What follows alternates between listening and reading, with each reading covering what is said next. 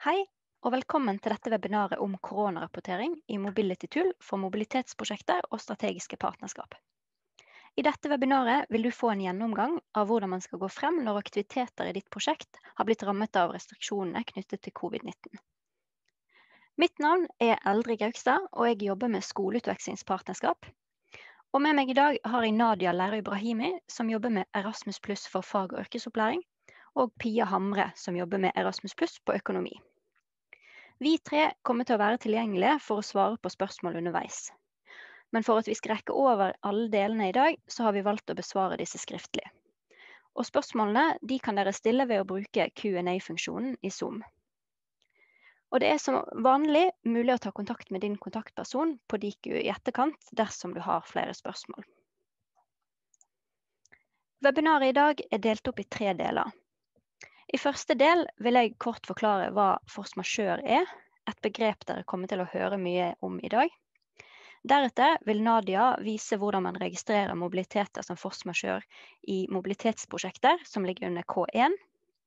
Og til slutt vil jeg vise hvordan man registrerer aktiviteter som force majeure i strategiske partnerskap eller skoleutvekslingspartnerskap. Webinaret vil i dag ta for seg koronarapportering, og vi kommer ikke til å gå over registrering av digitale aktiviteter eller tilleggskontrakten som dere nylig har fått tilsendt. For å få vite mer om det, så kan man se et eget webinar som blir lagt ut på diku.no, eller følge med når vi kommer til å komme ut med et nytt webinar om ikke så lenge.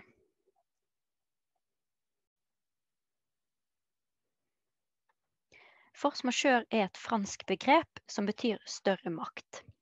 Det brukes for å beskrive en uforutsett hendelse som er utenfor deltakers kontroll til å avverge. Slike situasjoner kan oppstå når som helst, som f.eks. ved akutt sykdom, ulykker, naturkatastrofer eller det som skjedde i vår med covid-19. Begrepet force majeure blir ofte brukt i kontrakter mellom parter for å bli fritatt kontraktforpliktelsen når en slik hendelse oppstår. I alle Erasmus pluss-prosjekter ligger klausulen om force majeure inne i anneks 1 General Conditions. Denne blir sendt ut som vedlegg når man får kontrakten. Dette er altså ikke noe nytt som har blitt til pga. korona, men det finnes allerede i kontraktene som alle som har pågående eh, Erasmus pluss-prosjekt har.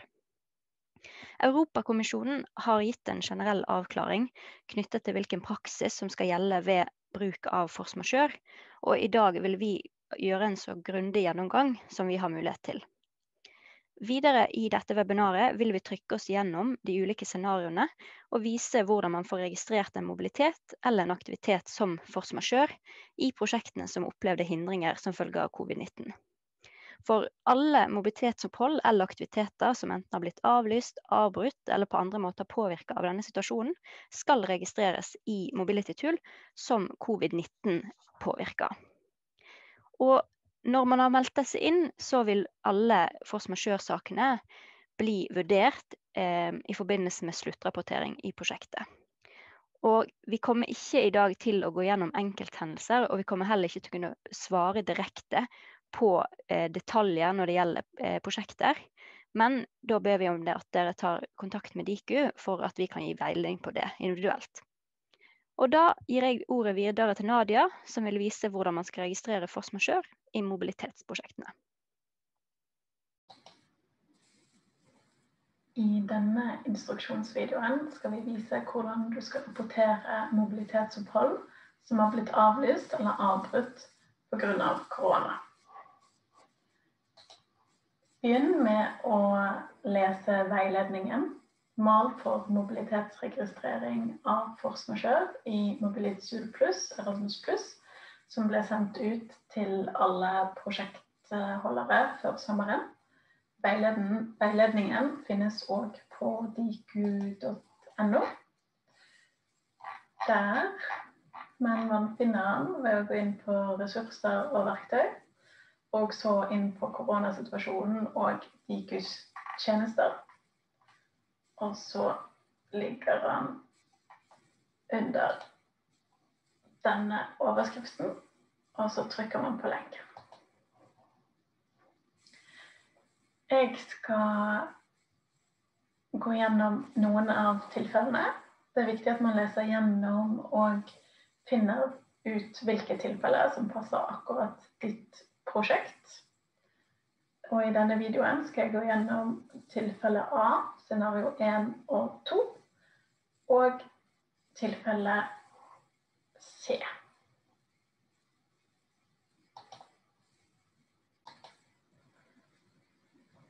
Da begynner vi med tilfelle A. Deltaker har avsluttet aktiviteten og returnert til sitt hjemland. Scenario 1. Deltaker har kun rett til å motta stipendet som dekker perioden når aktiviteten pågikk. Da skal man registrere mobiliteten på vanlig måte, sånn som jeg har gjort med mitt navn her. Så trykker jeg på 'edit'.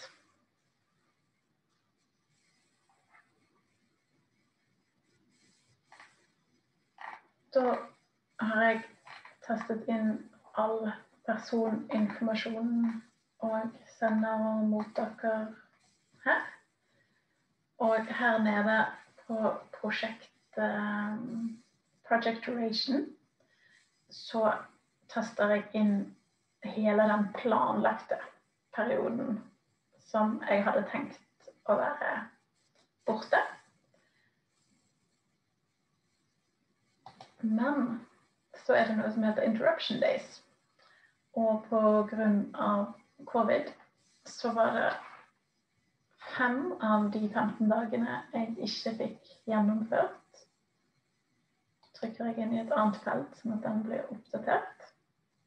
Da står det 15 dager her, mens jeg har lagt inn interruption days, så får jeg bare ti dager funded duration.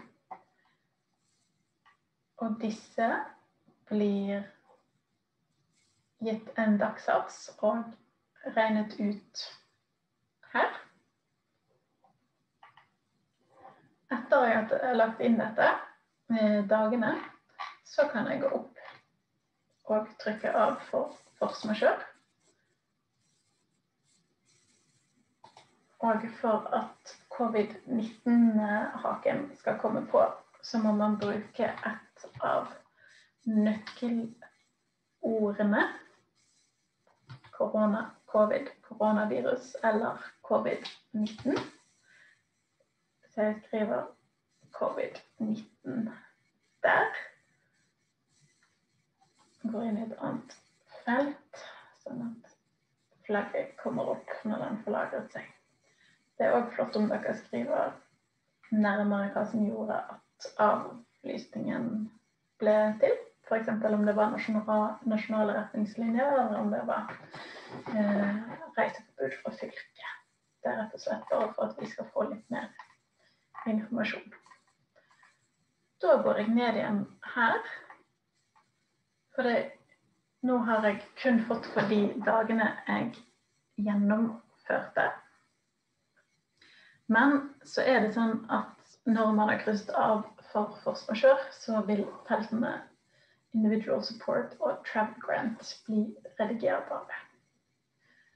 Nå er jo det sånn at hvis man har eh, brukt mer penger av individual support eh, enn for den perioden man faktisk gjennomførte, så kan man følge scenario to, som vi skal gå gjennom rett etterpå. Så under scenario én så er det mer aktuelt hvis man da har ekstra eh, reiseutgifter pga. Av avbrytelsen.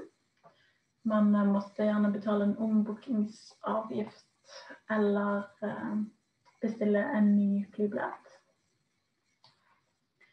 Skal vi se Her var det annen tekst fra før. Og da, hvis jeg skal redigere travel grant, fordi jeg måtte betale ombookingsavgift Hvis jeg skal redigere dette beløpet, så må jeg skrive hva det var, og hvorfor. Så jeg kan jo f.eks. skrive 149 euro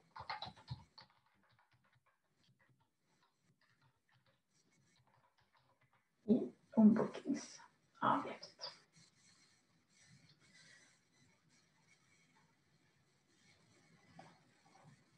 Og da må jeg òg redigere dette beløpet. Så jeg plusser på 149 euro på 275 og skriver det totale beløpet der.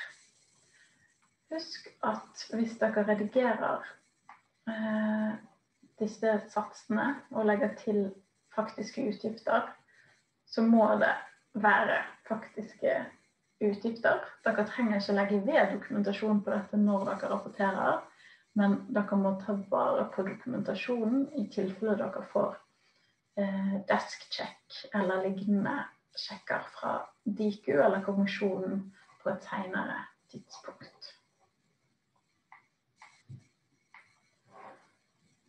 Og det er jo selvfølgelig viktig at dere ikke har fått dekket det dere rapporterer av forsikringsselskap. Det må ha vært sjekket før dere rapporterer. Dette står i veiledningen.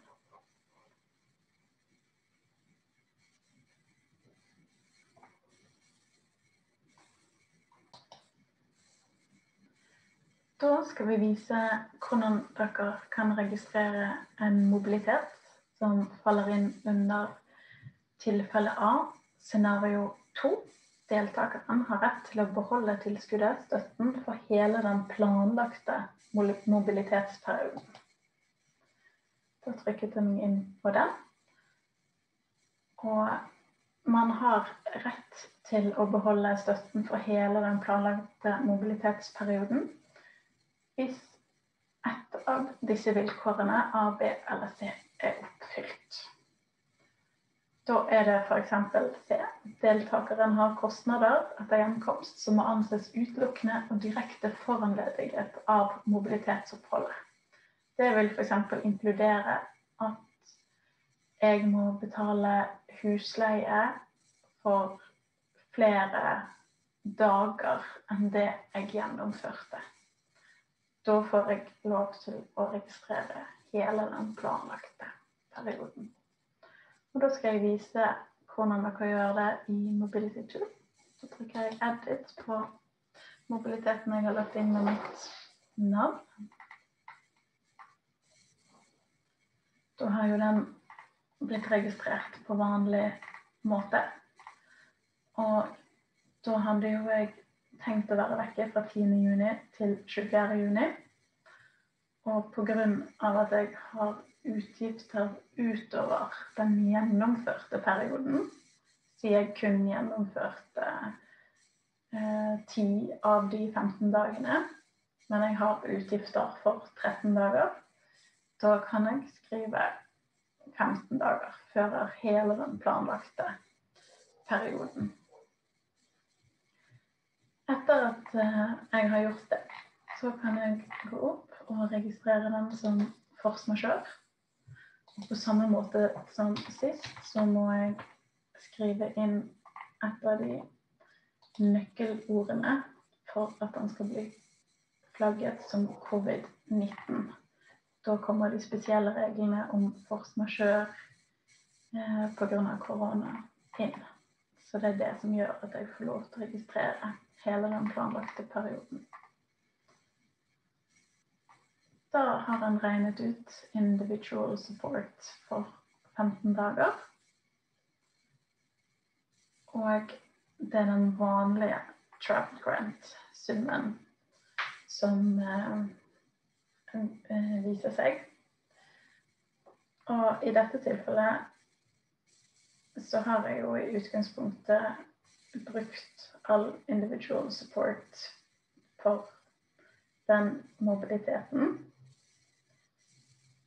Så det er mer aktuelt å eh, legge på travel grant.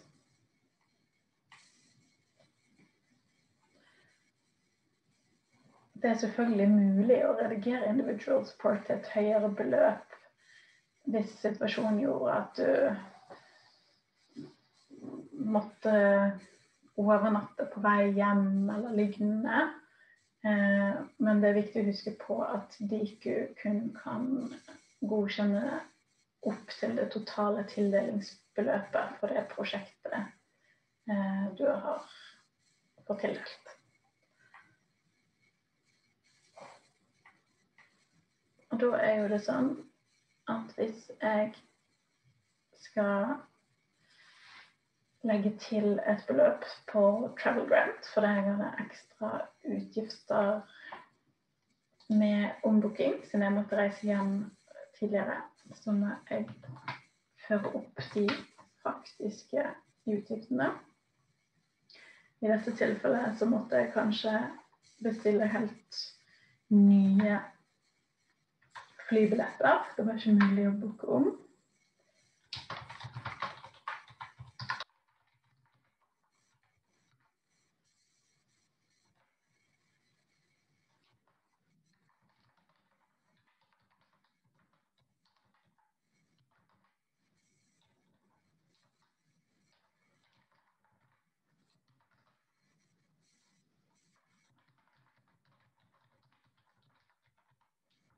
Skriver jeg en liten forklaring, og så må jeg legge på 399 euro på dette beløpet.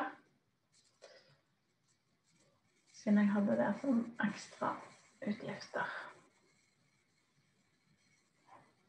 Og så jeg å lagre.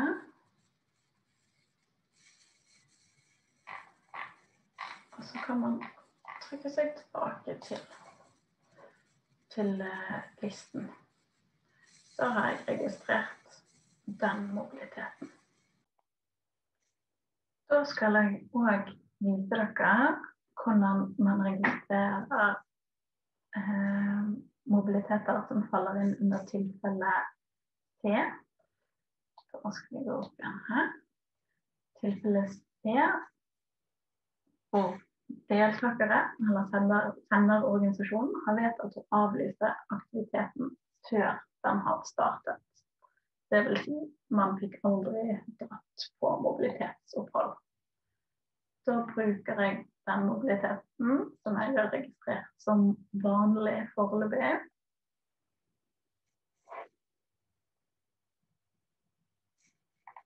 Og der ligger all informasjonen. Eh, da har jo jeg vært flink og lagt inn det jeg tenkte denne mobiliteten, meg i dette tilfellet, skulle reise på. Men så endte det opp med at jeg ikke fikk reise i det hele tatt. Og da sier veiledningen at startdato og sluttdato skal være den samme datoen. Det vil si man skal registrere kun én dag når man ikke fikk reist. Så trykker jeg meg inn på et annet felt her så vil han oppdatere seg til én dag. Så sier han dette er jo et altfor kort mobilitetsopphold. Men etter har registrert periode, så kan vi krysse av for force sjøl. Skrive inn uh, nøkkelordet, sånn som i de andre tilfellene. Klikker meg òg inn på et annet felt som oppdaterer seg, og man får opp covid-19, som gjør at et annet regelsett kommer inn i forhold til kostnad sjøl. Da kommer det opp én dag. Så da får man i utgangspunktet kun støtte for den dagen foreløpig. Man kan òg velge å krysse av for zero grant hvis de ikke har påbeløpt noen eh, kostnader forbundet med den aktuelle mobiliteten. Men en registrering av kansellerte mobiliteter uten kostnader med zero grant vil tillate deg å be om de organisatoriske støttekostnadene for organizational support, som eh, dere kanskje har hatt uh, utgifter for i planlegging av mobiliteten. Så Derfor så kan det være en vits i å Eh, registrere mobiliteten og merke den av som zero brand. For da kan man i hovedbudsjettet her legge inn organizational support for den mobiliteten. Men eh, det gjør jeg ikke nå. For selv om eh, vi aldri fikk reist på denne mobiliteten, så hadde jo vi booket både hotell og fly.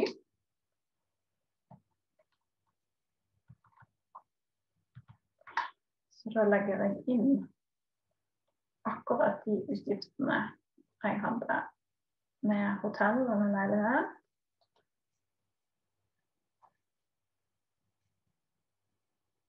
Men flyet vi bestilt, blir dekket av den normale satsen, så derfor så redigerer jeg ikke det.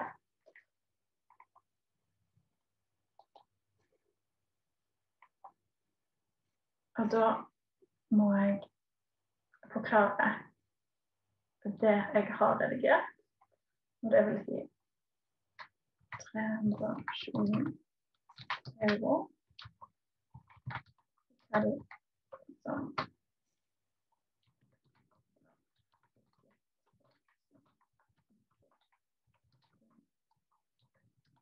Yeah.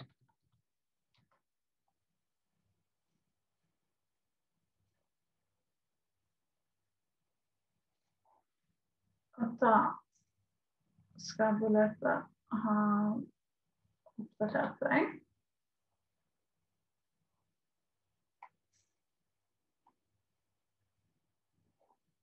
Og man kan lagre mobiliteten. Husk å ta vare på dokumentasjon for praktiske utgifter når dere redigerer eh, disse beløpene her. Så da kan man gå tilbake til listen. Nå har jeg jo bare redigert på samme mobilitet. Eller så hadde jo jeg laget en ny mobilitet og gjort de endringene som var nødvendig på, på alle. Så det var alle de tilfellene jeg skulle gå gjennom i dag. Da gir jeg ordet videre til Eldrid, som skal snakke om koronarapportering innenfor Key Action 2. Takk, Nadia. Da vil jeg gå gjennom hvordan man skal registrere aktiviteter som force majeure i et K2-prosjekt altså enten et strategisk partnerskap eller et skoleutvekslingspartnerskap. Og For å vise dette i Mobility Tool så kommer jeg til å bruke strategisk partnerskap. Men merk at det er ikke alle prosjekter som har alle disse budsjettkategoriene, særlig f.eks. skoleutvekslingspartnerskap. Så følg med på de delene som er relevant for deres prosjekt.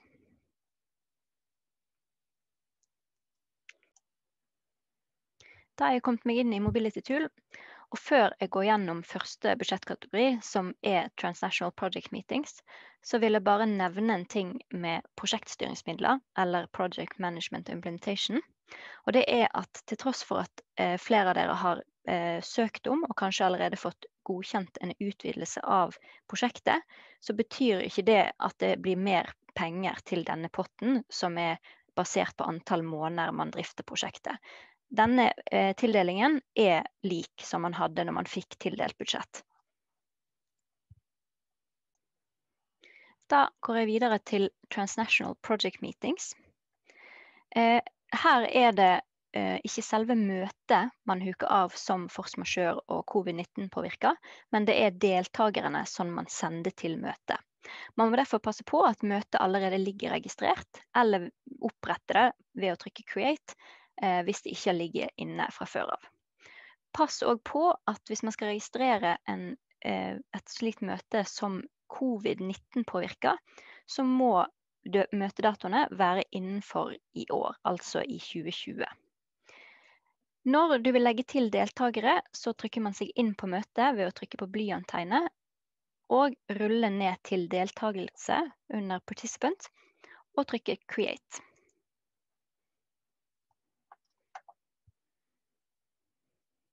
Når man har fylt inn antall deltakere, sendeorganisasjon og distanse det var til møte, så eh, kan man huke av knappen som heter force majeure. Du vil da få opp en ny tekstboks hvor man må forklare situasjonen med å bruke nøkkelordene covid eller korona. Det står òg i hjelpeteksten over her.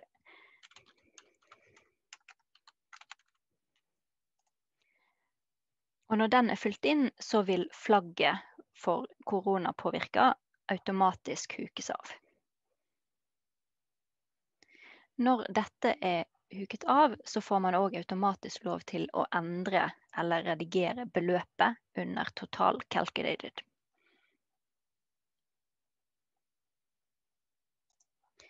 Når man da lagrer og går tilbake igjen til eh, møtesiden, så kan man se deltakerne nederst her.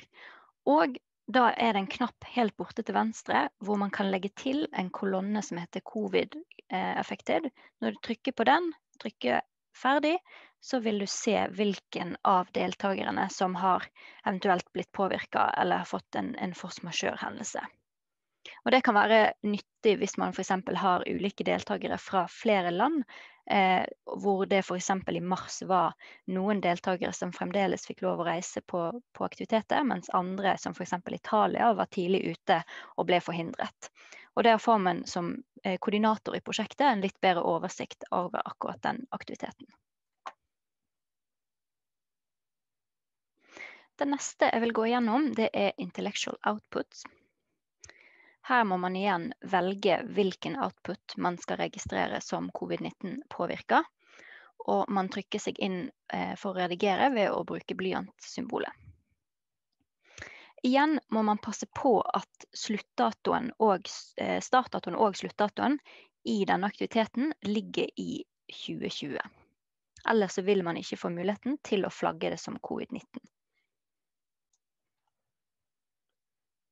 Når det er lagt til, så finner man institusjonen som ble eh, forhindra eller påvirka av covid-19-situasjonen, og trykker 'rediger'. Når man har fylt inn arbeid med denne intellectual outputsen, så ruller man ned til man ser force majeure-knappen og huker den av.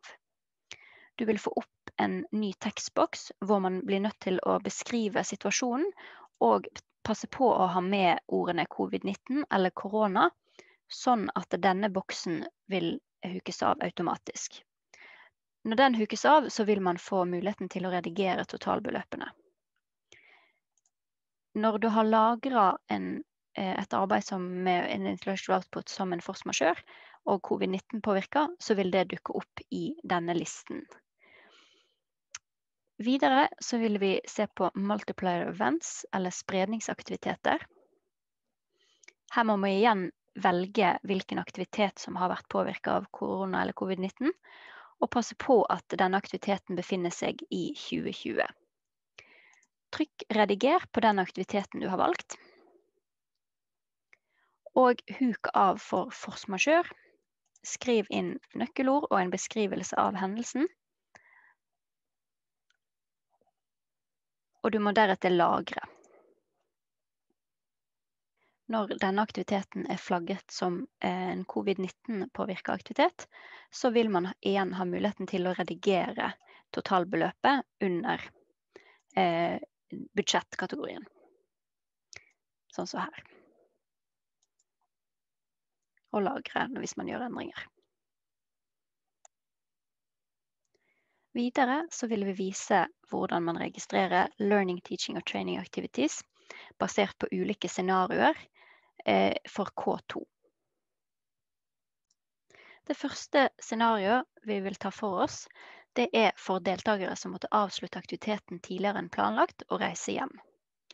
Eh, dette var det veldig mange prosjekter som opplevde i mars, når man plutselig fikk en beskjed fra hjemmefra om at man måtte avbryte aktiviteten og komme seg hjem så fort som mulig. Og det var flere som da ikke fikk fullført hele aktiviteten under learning, teaching og training activities. I strategiske partnerskap så må man registrere informasjon om aktiviteten først, og deretter legge til deltakere som vanlig ved å fylle ut alle feltene, slik at de vanlige satsbeløpene legges inn. enten så finner du aktiviteten på eh, aktivitetslisten her, eller på skoleutvekslingspartnerskap så må man noen ganger legge til aktiviteten først dersom en er koordinator i prosjektet. For å kunne legge til deltakere, så trykker man seg inn på aktiviteten via blyanttegnet og trykker 'create', eller i dette tilfellet eh, 'edit', fordi jeg allerede har lagt inn informasjon om en deltaker. Når alle boksene er fylt ut, som dato for reisen og hvor man har reist fra og til, så finner man force majeure-boksen og huker av den. Da kommer den samme tekstboksen som vi har sett et par ganger i dag. Og du må beskrive hendelsen som eh, oppsto, og bruke nøkkelordene covid eller korona.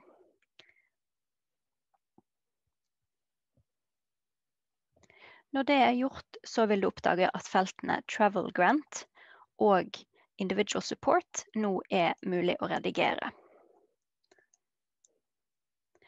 Og eh, du kan justere beløpet opp der det har f.eks. vært tilleggskostnader ved ekstra reise eh, eller eh, andre ting. Men da må sendeorganisasjonen i alle disse tilfellene Eh, eh, sikre seg bevis for at deltakeren har prøvd å få refusjon for f.eks. transportselskap, forsikringsselskap eller andre, og at dette da ikke førte frem. Eh, og i tilfelle man legger til ekstra reisekostnader eller tilleggskostnader, så må man òg passe på at man får med en eh, ekstra kommentar i mobility-kommentar, eller overall-kommentar, som ligger her nederst. Og når det er gjort, så må du lagre aktiviteten.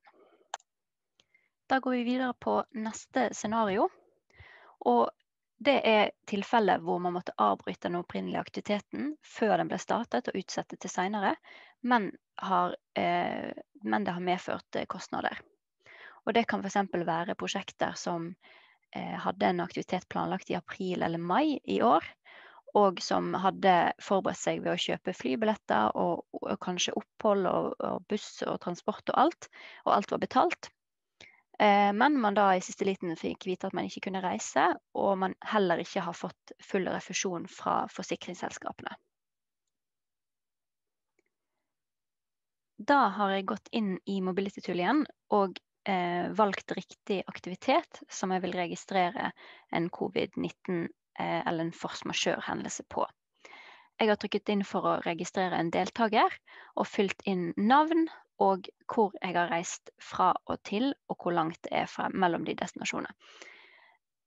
Siden det i dette tilfellet er en aktivitet som ble, ikke ble gjennomført, og man faktisk ikke har reist, så skal man her registrere samme startdato og som sluttdato. Du vil se her at Mobility Tool sier at det ikke er lov, fordi at det ikke er en gyldig aktivitet eh, som en uh, learning, teaching og training-aktivitet, så må den ha min, minimum fem dager her. Men idet jeg trykker av force majeure, så vil du se at den godtar det likevel. Og idet vi bruker eh, nøkkelordene igjen, så vil covid-19-flagget eh, bli huket av. Og man får igjen muligheten til å redigere eh, reisestøtte og individual support. Eh, på lik linje som i stad, så må man her, hvis man registrerer en kostnad man har hatt eh, knytta til en aktivitet som ikke har blitt gjennomført, så må man som sendeorganisasjon eh, sikre seg bevis for at deltakeren har prøvd å få refusjon. Og på lik linje som i stad, så må man kommentere det i den nederste boksen før man trykker 'lagre'.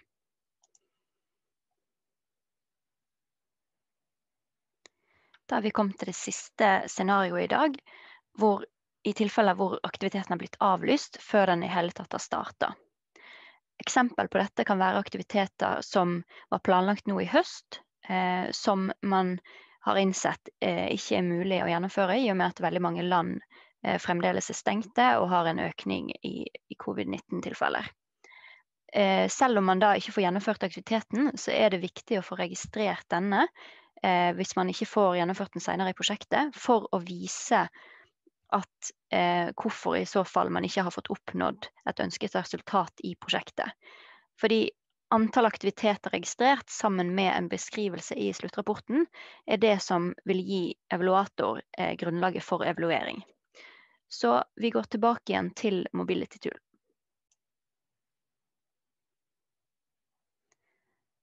Da er jeg tilbake igjen i Mobility Tool og har igjen lagt inn informasjonen.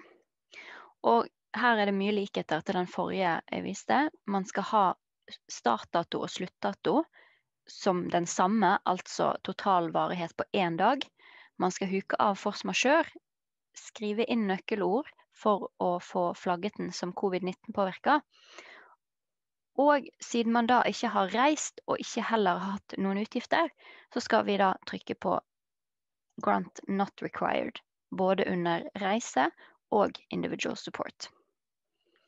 Det kan òg være at knappen heter zero grant. Så hvis man ikke har hatt kostnader eh, tilknyttet aktiviteten, så huker vi av dette og lagrer til slutt. Da skal vi eh, runde av dette webinaret for i dag. Eh, vi håper at det har blitt litt mer klart hvordan man skal registrere en aktivitet eller en mobilitet som rammer av eh, covid-19. Og vi håper at dere som har aktiviteter som har opplevd dette, at dere prøver å registrere de med en gang. Det kan være lurt at dere skaffer dere en oversikt over hva som er tildelt disse aktivitetene, og eventuelt hva som har blitt dekket av forsikringen når dere skal rapportere. Og for de som skal sluttrapportere, begynn i god tid. Og ta som vanlig kontakt med Diku dersom du har eh, problemer. Så da gjenstår det for oss å ønske dere lykke til videre med prosjektene, og ikke nøl med å ta kontakt dersom det er flere spørsmål.